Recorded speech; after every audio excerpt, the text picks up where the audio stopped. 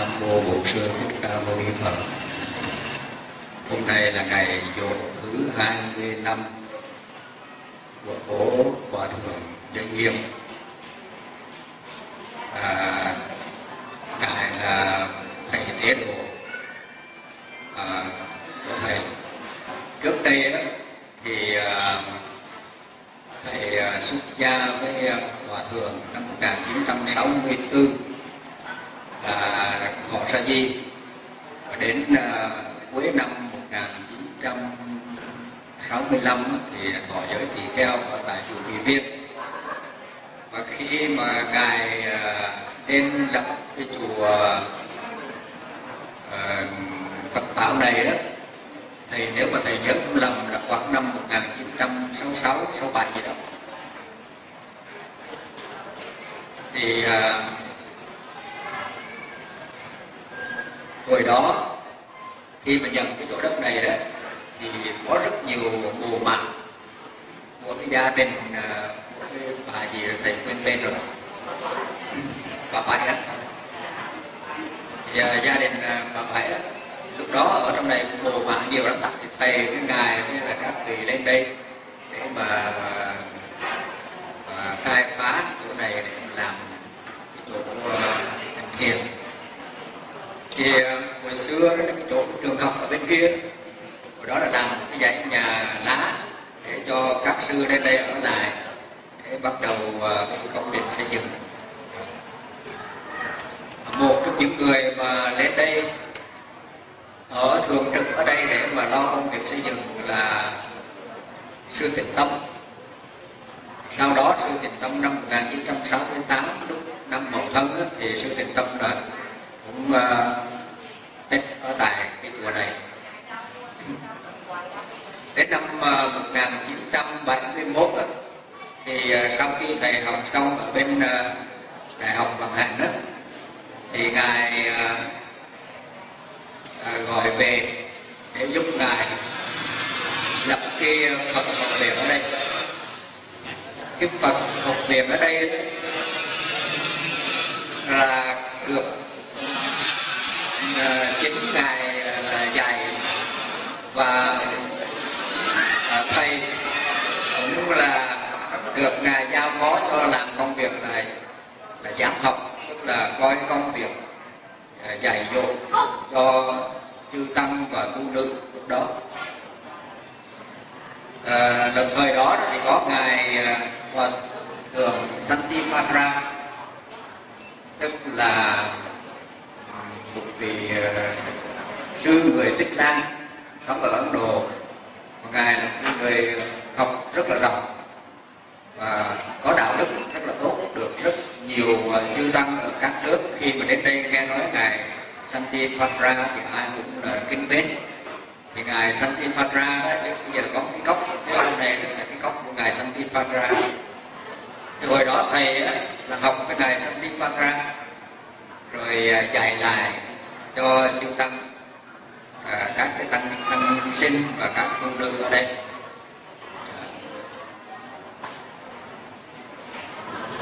Nhưng mà à, đến năm 1973 thì à, do một cái, à, cái lý do là thầy à, học à, đọc cái bài kinh tứ niệm xứ. Ngài đó là cái vị mà thiền sư chuyên dạy về tứ niệm xứ? Ngài học à, uh, tứ niệm xứ từ miến điện học uh, trực tiếp với ngài mahasi. Cho nên ngài về đây mở rất nhiều khóa thiền tứ niệm xứ. Nhưng mà vào cái lúc đó là cái lúc mà thầy đang đi học.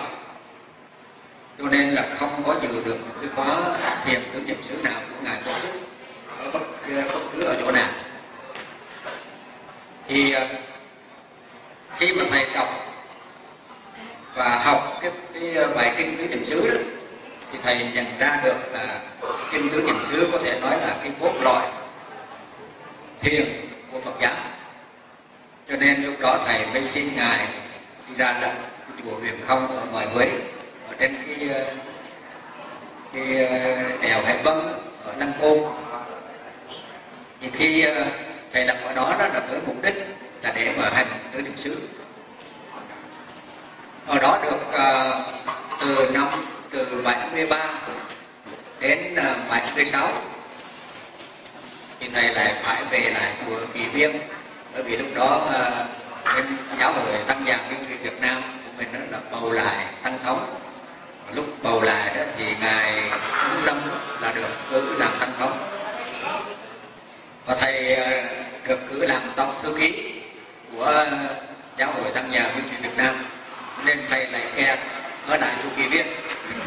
Sau đó, thầy tự học và tham khảo thêm với một số các vị thiền sư đi học từ ờ, bên trường thiền của ngài Mahasi về.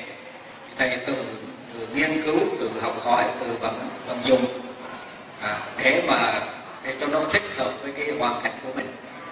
Vì vậy cho nên sau này cũng nhờ là thầy không có học một cái ờ, đường thiền những niệm xứ nào mà phải từ mày mò nghiên cứu từ uh, thực hành. Cho nên sau này thầy nhận ra được à, rất nhiều những cái uh, yếu tố mới mẻ ở trong thiền cử niệm xứ năm à, năm ngoái đó thì giáo hội à, cái việc nghiên cứu Phật học Việt Nam của giáo hội đó thì có lập ra một cái ban mới đó là ban Phật giáo Nam Tông.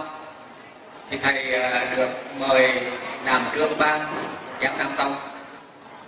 Trong à, trong cái chương trình mà của cái trong cái chương trình của ban Phật giáo Nam Tông đó, cái việc mà có thể nói là ưu tiên hàng đầu mà trong cái chương trình của thầy là sưu tập lại tất cả những cái tác phẩm của các vị tiền bối à, các vị thầy tổ trong đó có ngài à, thì có à, cái chương trình là sưu tập và xuất bản lại tất cả những cuốn sách của các vị tiền bối của chúng ta.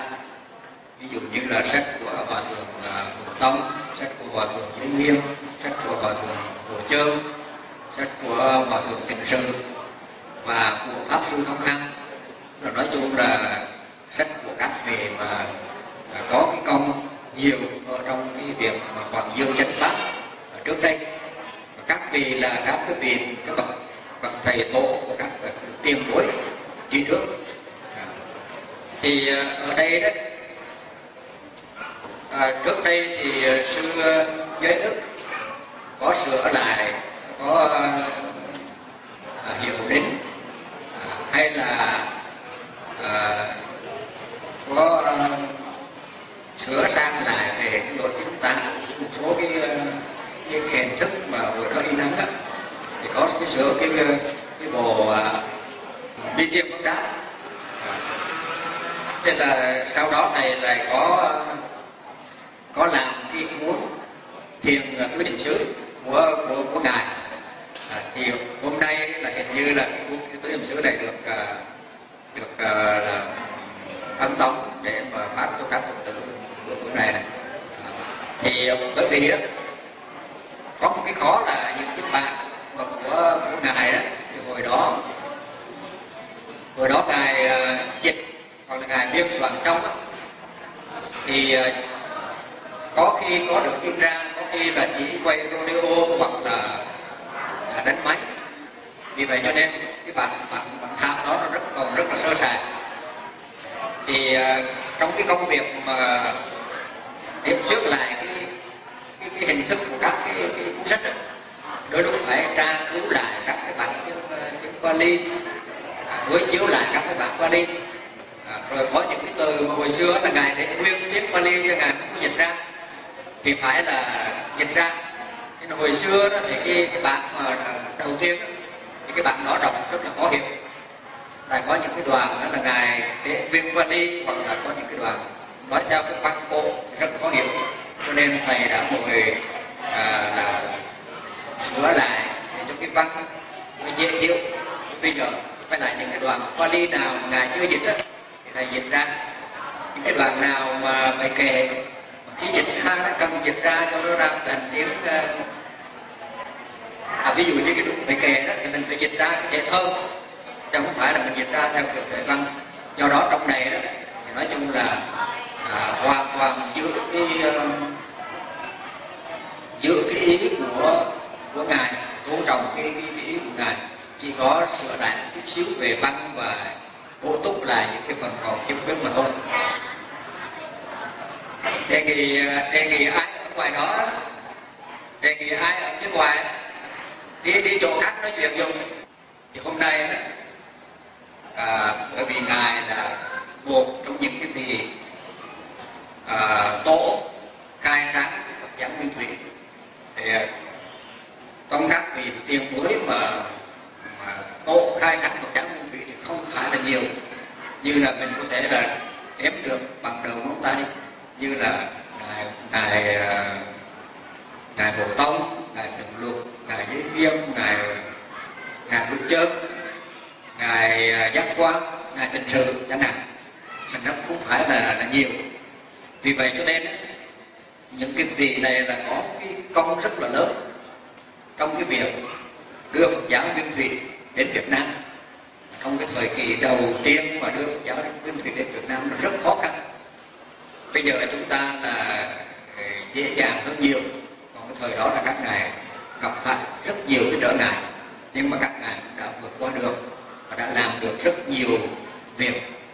Nhất là riêng ngài riêng ngài ờ, hòa thượng giới nghiêm. Thì ngài có mấy cái điểm đặc điểm như sau. Thứ nhất là ngài là vị trẻ nhất trong các vị ờ, tổ của chúng ta. Thứ hai là ngài làm tăng thống nhiều nhiệm kỳ nhất trong trong các vị tăng thống.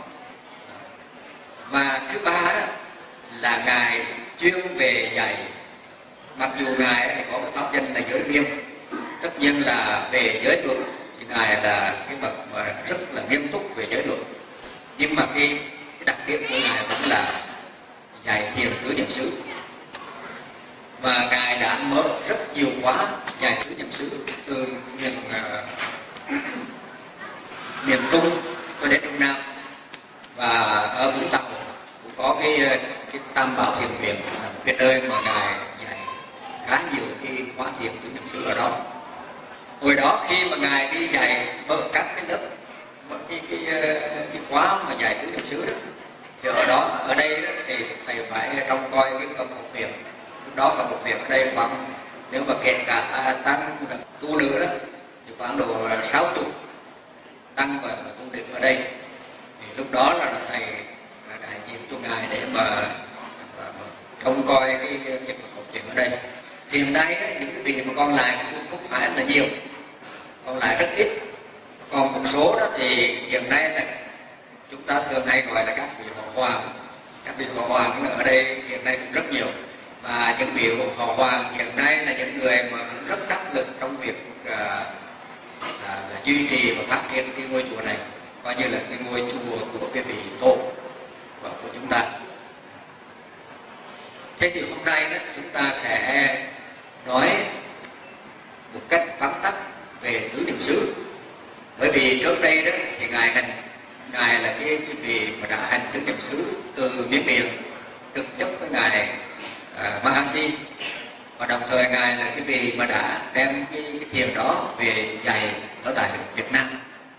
Được xem như là cái người đầu tiên đem thiền uh, tứ niệm xứ đặc biệt là của ngài Mahasi về dạy ở tại Việt Nam. Bây giờ đó thì uh, sau ngài Mahasi đó, các đệ tử của ngài hiện nay còn bốn vị đệ tử lớn. Bốn vị đệ tử đó là gần như là mở ra bốn trường phái khác nhau. À, tức là mỗi vị nó có một cái, cái, cái đặc điểm riêng. Và các vị đó về mở ra những cái trung tâm thiền. Ngoài ra thì có nhiều cái trung tâm thiền khác ở tại miến điện. Mà phần lớn đó là đều là dựa trên cái ờ, bài kinh tứ niệm xứ. Vì vậy cho nên kinh tứ niệm xứ là một cái, cái kinh có thể nói là à, cốt lõi, hay là cái tâm niệm của cái pháp hành trong Phật giáo Nguyên Thủy. Bởi vì pháp hành thì có nhiều, có giới, có định. Nhưng mà đặc biệt, cái Phật giáo đó là nó khác với các cái tôn giáo khác ở chỗ là có pháp hành thiền tuệ. Không phải chỉ là thiền tuệ phải tuệ giới, mà là có cả cái pháp hành thiền tuệ. Mà thiền tuệ đó thì là dựa trên cái bài kinh tứ niệm xứ trong về cái tứ niệm xứ đó thì à, nếu mà mình nói cho nó dễ hiểu để chúng ta có thể là nắm một cách một cách là là, là tóm tắt bởi vì trong cái sự hiểu đạo đó, các phật tử cần phải lưu ý một điểm này một cái người mà hiểu đạo đó thì phải hiểu từ một điểm mà hiểu ra tức là phải phải bắt đầu từ một cái cốt lõi bắt đầu từ một cái chìa khóa thì cái đó mình mới mở ra tất cả có đôi lúc đó, mình học pháp rất là nhiều à, học rất nhiều chi pháp học rất nhiều cái, cái nhất là ví dụ pháp thì học rất rất là nhiều và rất là giỏi nhưng mà nếu mà mình hỏi những cái người mà thật là thông suốt thật, rất, rất là là giỏi về ví dụ pháp bây giờ mình hỏi họ là làm sao mà nói cho tôi những cái cốt lõi của nó rất đơn giản thôi thì có khi họ nói không được họ phải nói một dòng từ đầu tới cuối nó có bao nhiêu hàng trăm hàng ngàn hàng vạn chi pháp thì mới nói được nhưng mà khi nói rằng là bây giờ nói nói làm sao mà nó chỉ cần một một vài lời thôi mà vẫn nói đến được cái uh, cốt lõi của cái, cái, cái, của uh, bài kinh tứ niệm xứ thì là không phải là nhiều người có thể nói được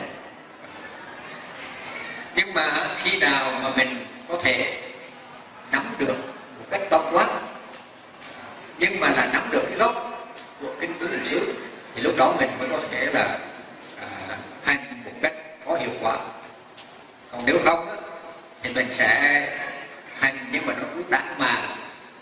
À, và có khi hành sai nữa là khác ở trong à, uh, bài kinh tứ niệm xứ đó thì có mấy cái điểm mà mình cần phải xem như là những cái trọng điểm mà mình phải lưu ý. Điểm thứ nhất đó, là cái pháp để mà mình dùng sử dụng để tu tập thì có ba ba pháp đó là tinh tấn chánh niệm và tinh giác à, quý, quý vị chỉ cần nhớ ba cái yếu tố đó và chiêm nghiệm nghiên cứu học hỏi cho thật sâu. Thế nào là tinh tấn, thế nào là chánh niệm, thế nào là tỉnh giác? Hiểu được ba cái yếu tố đó, coi như là mình đã nắm được một phần cái cốt lõi của kinh tứ niệm xứ. Điểm thứ hai là đối tượng của tứ niệm xứ. Đối tượng của tứ niệm xứ là niệm thân niệm thọ niệm tâm niệm pháp. Như vậy là có bốn bốn đối tượng. Thì bốn đối tượng này mình cũng nắm cho thật vững đối tượng niệm thân là sao? Đối tượng niệm thọ là sao? Đối tượng niệm tâm là sao? Đối tượng niệm pháp là sao? Nếu mình nắm vững được bốn cái đối tượng này, thì coi như là hai cái cái là một bên là tinh tấn chánh niệm tỉnh giác, còn một bên đó là đối tượng là là thân thọ tâm pháp.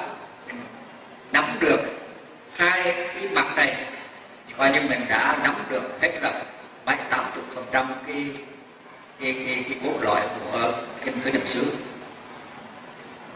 nhưng mà trong đó đó có một cái điểm hết sức quan trọng. Mặc dù cái điểm này đó thì không không phải là hai cái điểm chính mà mình vừa trình bày nhưng mà cái điểm này nó lại vô cùng quan trọng. Bởi vì nếu cái điểm này mà mình không nắm được đó, thì hai cái kia mình vẫn không thể thực hiện được. Và thực hiện là bắt đắc là sai cái điểm mà thứ ba này đó chính là không tham ưu bất kỳ cái đối tượng nào ở đời cái cái cái, cái câu đó, đó là vô cùng quan trọng bởi vì câu đó nó bổ túc cho cái việc mà tinh tấn chánh niệm tinh giác như thế nào. Tại mình nói tinh tấn chánh niệm tinh giác nhưng mà bây giờ khi mình nói tinh tấn chánh niệm tinh giác mình phải đặt ra nhiều vấn đề. Tinh tấn thế nào cho đúng? Chánh niệm thế nào cho đúng và tinh giác thế nào mới đúng. Rồi tinh tấn chánh niệm tinh giác thì là đối tượng là là thực tánh là paramattha lúc đó mình còn phải phân biệt thế nào là paramattha thế nào là panyati tức là không phải đơn giản. À. nhưng mà trong đó, đó có một cái điểm hết sức quan trọng đó là không tham ưu vật gì ở đời. Không ở đây đó chữ vật gì ở đây tức là đối tượng nào đó. Ví dụ như bây giờ mình nhìn thấy cái hoa, thì mình không có không có thích mà cũng không có ghét cái hoa đó. Khi khi một cái tâm của mình sân khởi lên, thì mình cũng không thích, cũng không ghét cái tâm đó. Khi mình có một cảm thọ khổ hay là mình không thích và cũng không khổ đối với cái cảm thọ đó. À. thế nhưng mà bây giờ mình thử phân tích trường hợp một vài trường hợp để xem tự mình hành có đúng không?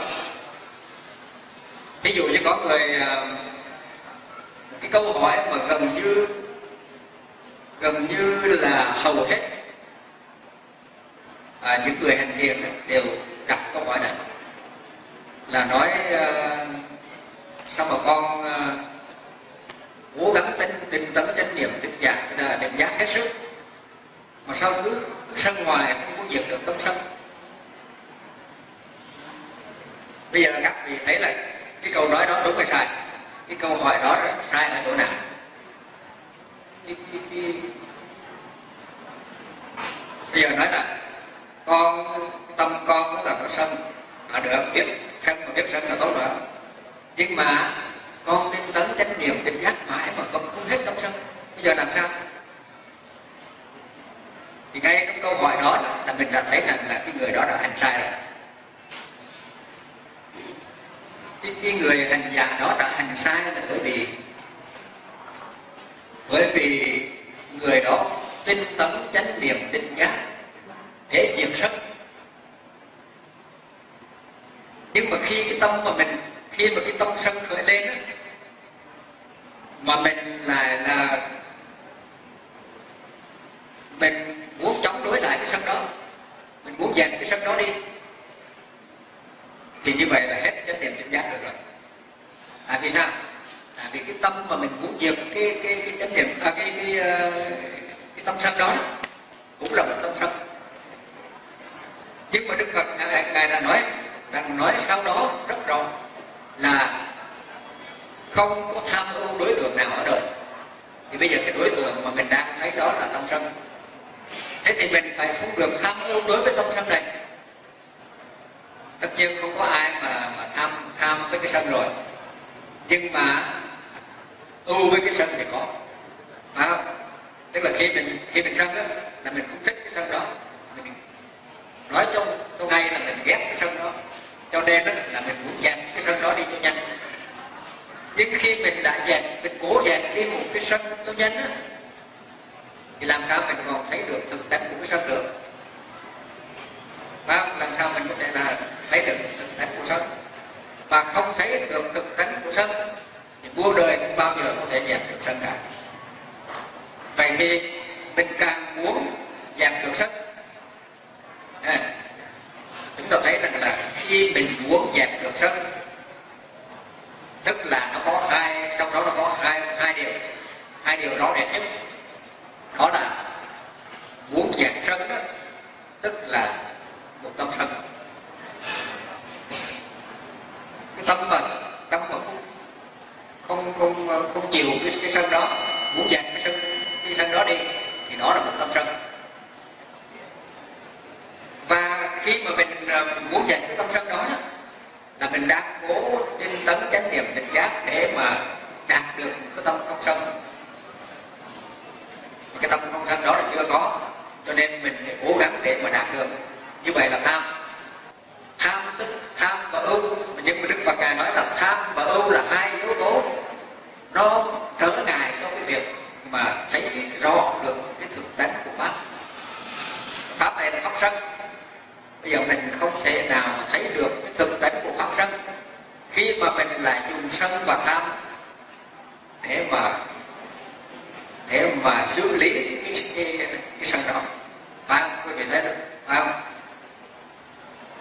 Như vậy hầu hết phật tử khi mà không hiểu đúng thì lại là dùng tham và sân. Để mà làm cái, cái chất liệu để mà hành tinh tấn chánh niệm tỉnh giác nếu như vậy thì không thể nào tinh tấn chánh niệm tỉnh giác được.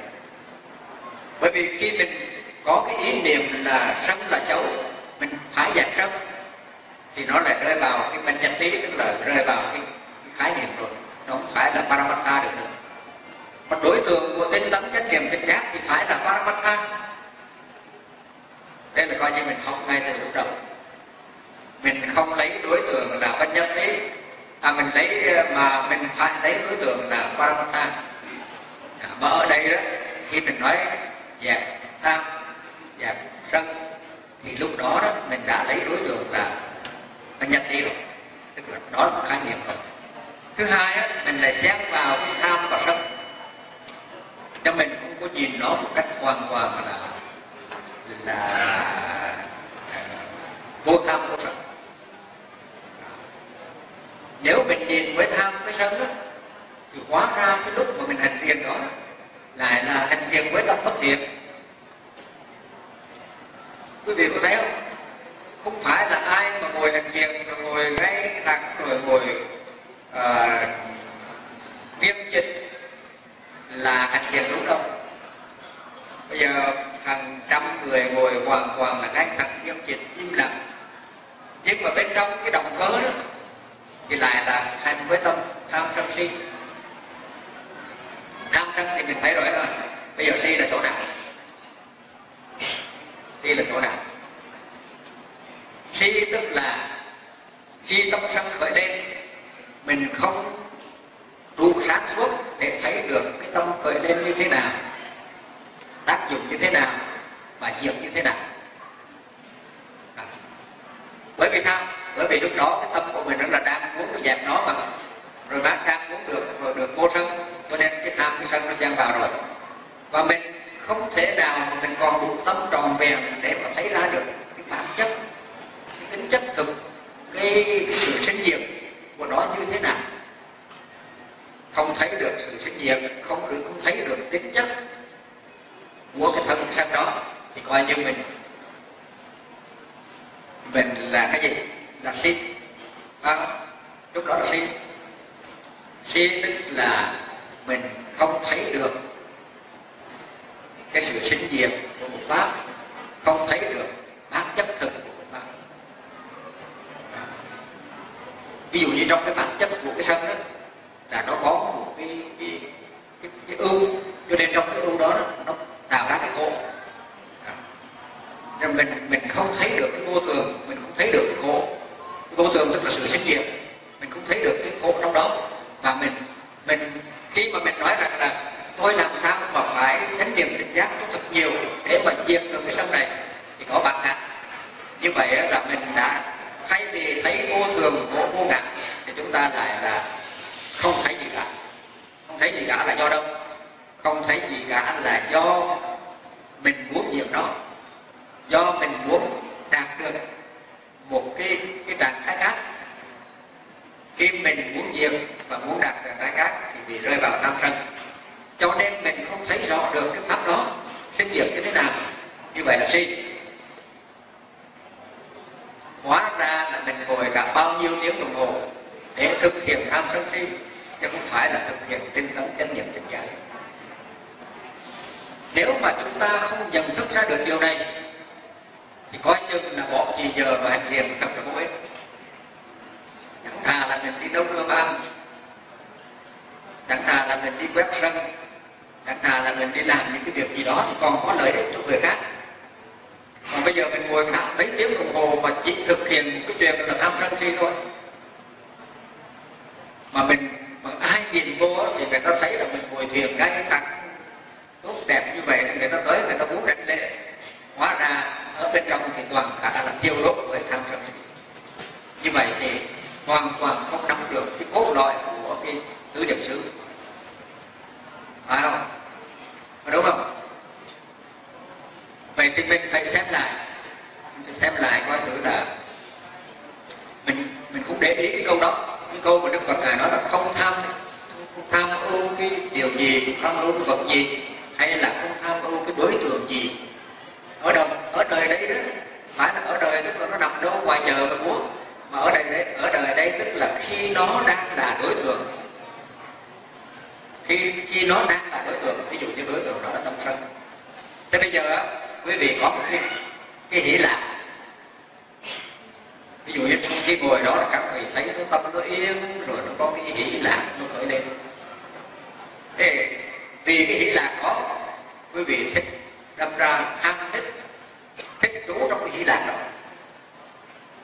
Thế thì tham rồi không? Và khi mình trú trong hỷ lạc đó, là tham.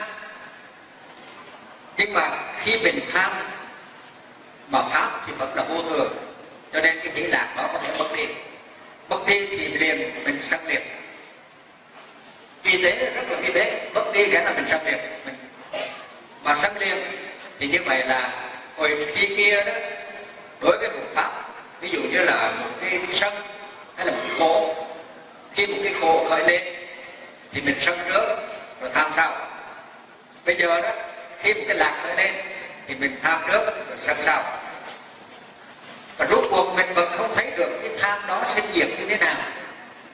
Cho nên vẫn là vẫn là si vẫn là vô minh. Vậy thì đừng có nói là tôi hành thiền tôi đạt được an lạc. Hành thiền mà có đạt được an lạc cũng như không? Bởi vì đạt được an lạc mà, mà tham sân si thì cũng như không? Phải không? Đạt được an lạc mà tham sân si cũng như không? Mà khổ mà tham sân si cũng như không đó. vì vậy cho nên đấy cái cốt lõi của ngữ tình xứ là ở chỗ mà chúng ta phải biết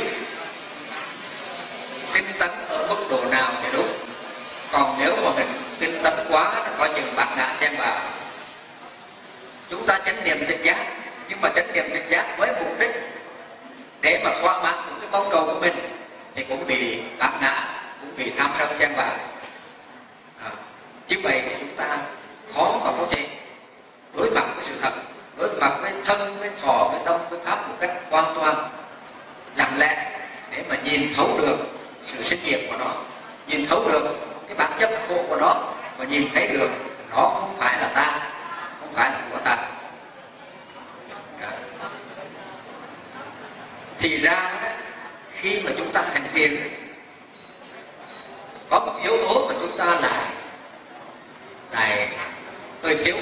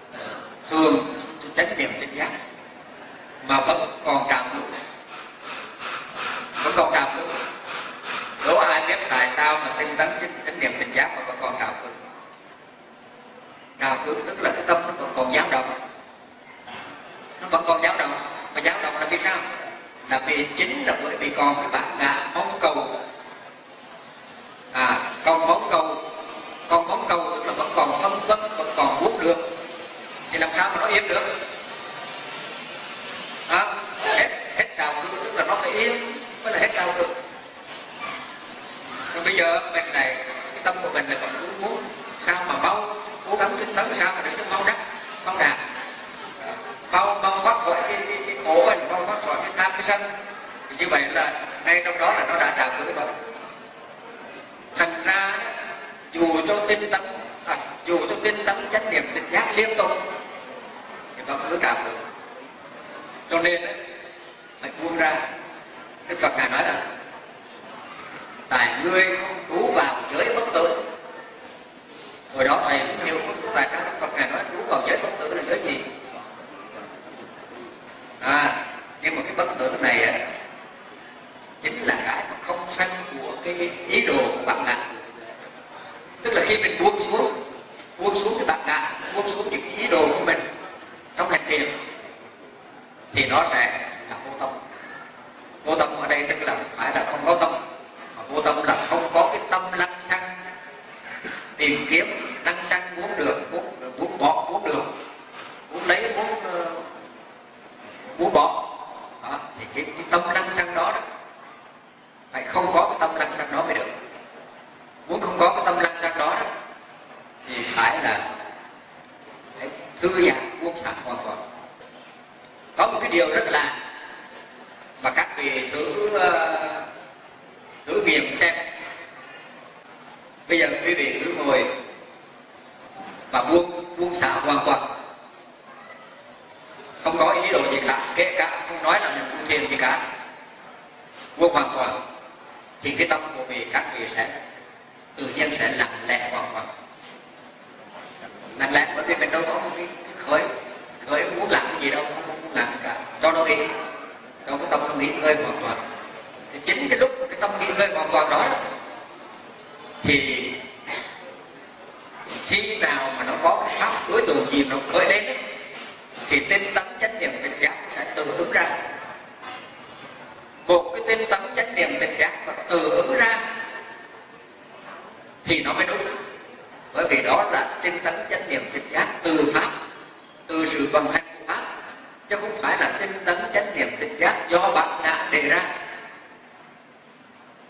Đó chính là giới bất tử. Bất tử là vì sao? Bởi vì đâu có cái bạn ngã sinh lên, muốn cái này, muốn cái kia, muốn bỏ cái này, muốn được cái nào đó. Mà cứ để cho pháp vận hành và chỉ là như một tấm gương. Hoàn toàn không có ý, không có ý phê phán hay là muốn gì cả. Chỉ thẳng hết một cách hoàn toàn là khi mà ứng ra làm một việc gì?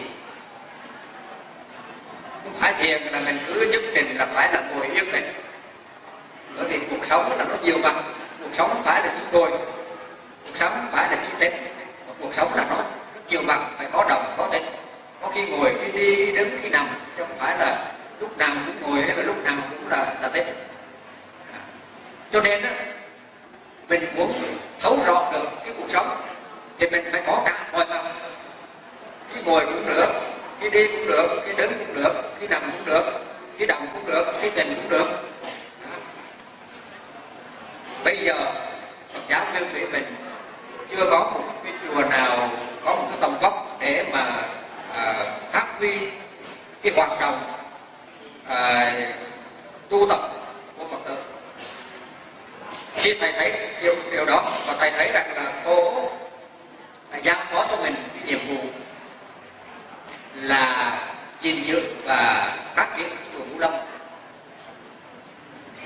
Tổ lại đã giao cho mình một cái chỗ đất rất là đẹp cái chỗ đất rộng rãi và và cái cảnh quan rất đẹp thế mà mình bây giờ mình cứ đóng cửa ngồi thiền để để chỉ để mà mong được hướng được một cái cái an lạc để mà mong mong mà hướng được cái cái thiền này thiền kia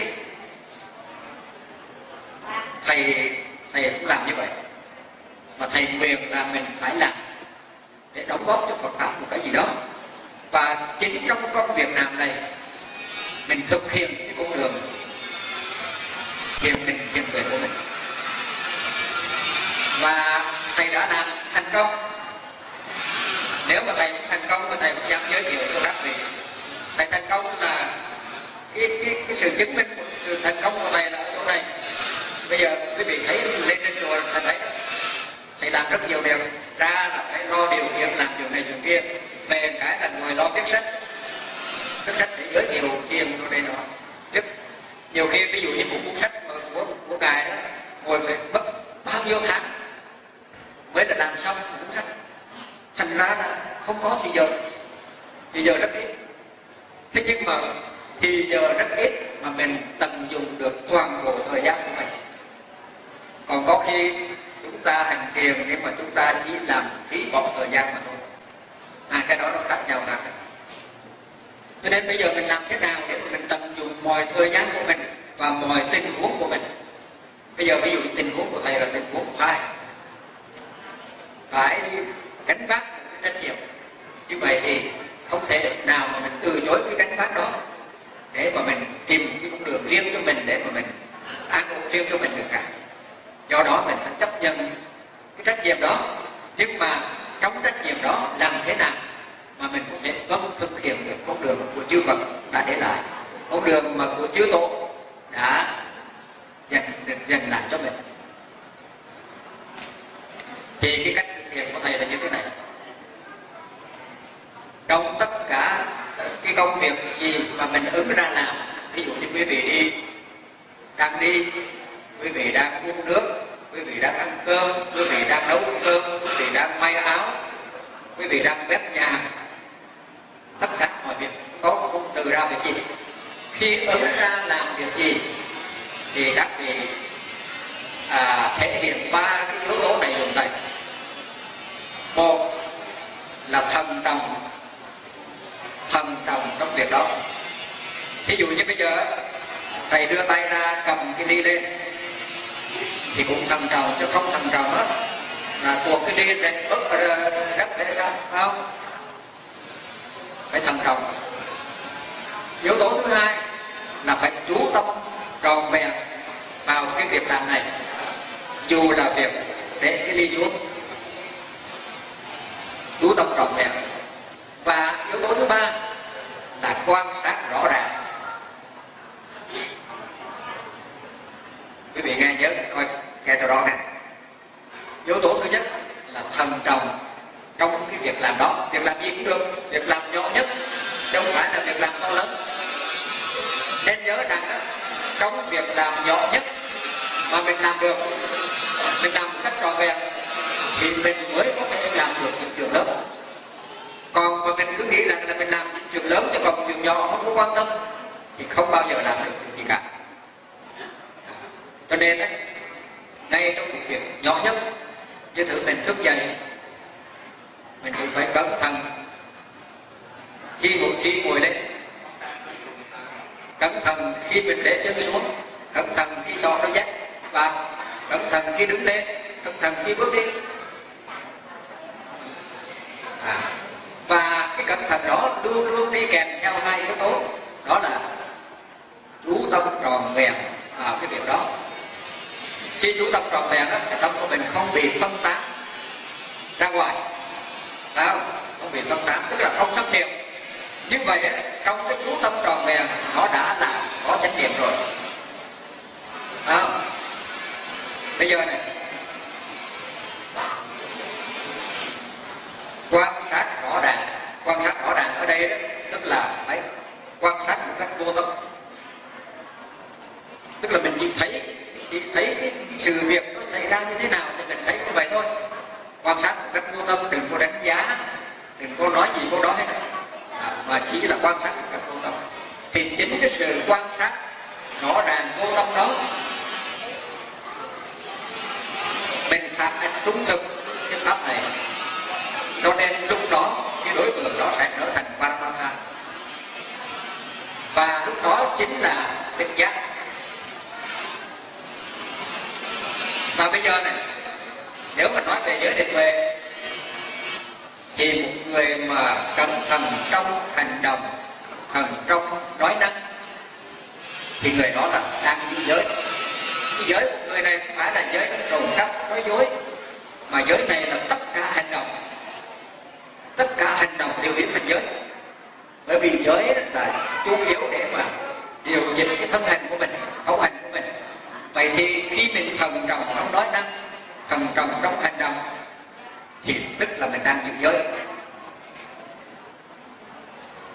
Khi mà mình thần trọng trong hành động, thần trọng trong nói năng thì mình đã có chánh ngữ chánh nghiệp chánh mạng.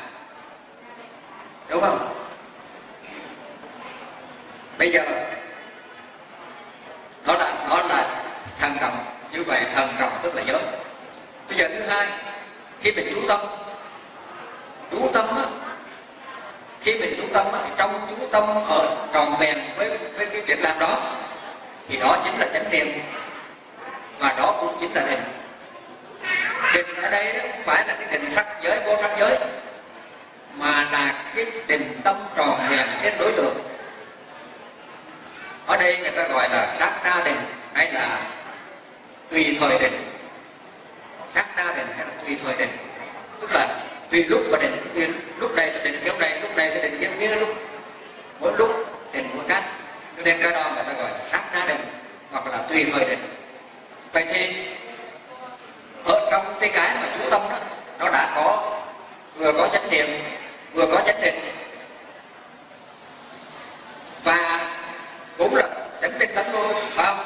Như vậy trong đó nó đã có cả chánh tinh tấn, chánh niệm, chánh định khi chúng ta quan sát một cách trung thực, rõ ràng, minh bạch, không chủ quan, thì lúc đó là chánh kiến, chánh tư duy.